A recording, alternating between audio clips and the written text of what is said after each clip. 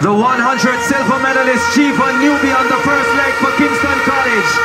Nkrumie goes out well. Edwin Allen also running well on the first leg.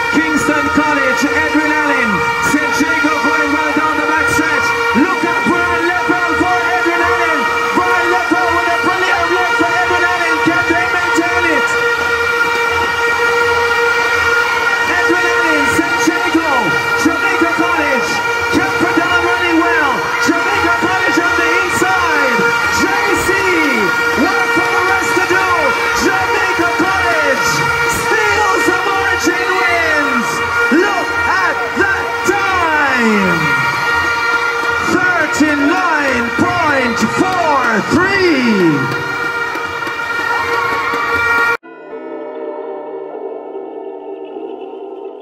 Oh, go. Island breeze, I'm a fresh, you know. Make a one pose.